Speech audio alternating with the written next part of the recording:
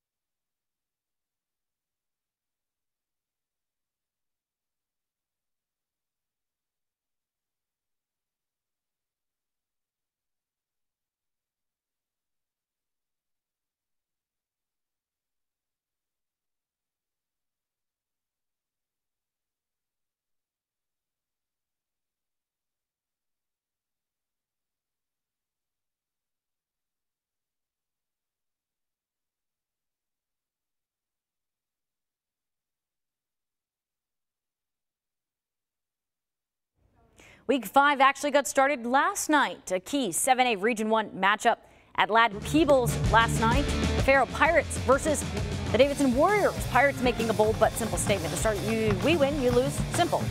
The Warriors say, yeah, it's not that simple, my friends. Davidson takes the early 3-0 lead. Fairhope answers back as Devin Mitchell connects with Jackson Turner for the 46 yard touchdown. Nobody around him as he looks back. Pirates up 7-3. Warriors right back at it. Playmaker himself, Colby Blunt, doing what he has done all last season and this season now. Finding a hole, he's gone 65 yards for the score, putting Davidson back on top. Fans happy, homecoming night for Davidson. Second quarter, game knotted up at 10. Mitchell with some fake out action. Well, he faked out my photog, but then he shakes off some tackles and says, you know what? I like the other side of the field. Turning on the Jets, flying into the end zone for the 40-yard touchdown. Pirates go on to win 45-17 over Davidson. After the game, Coach Carter proud of the way his team fought back. To play a tough game like that last week, losing at the end, kids battled, but hey, they got themselves together in a short week, and that was important. And then I think we saw a lot of people contribute tonight to make big plays.